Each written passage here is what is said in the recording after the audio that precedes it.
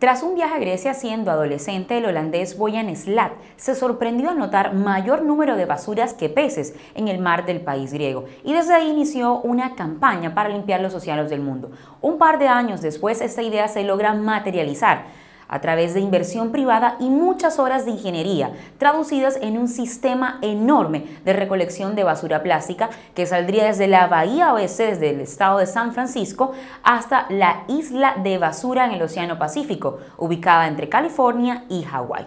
Normalmente las campañas de recolección de basura se han enfocado en la limpieza de playas y cosas, recogiendo basura plástica, bolsas y botellas.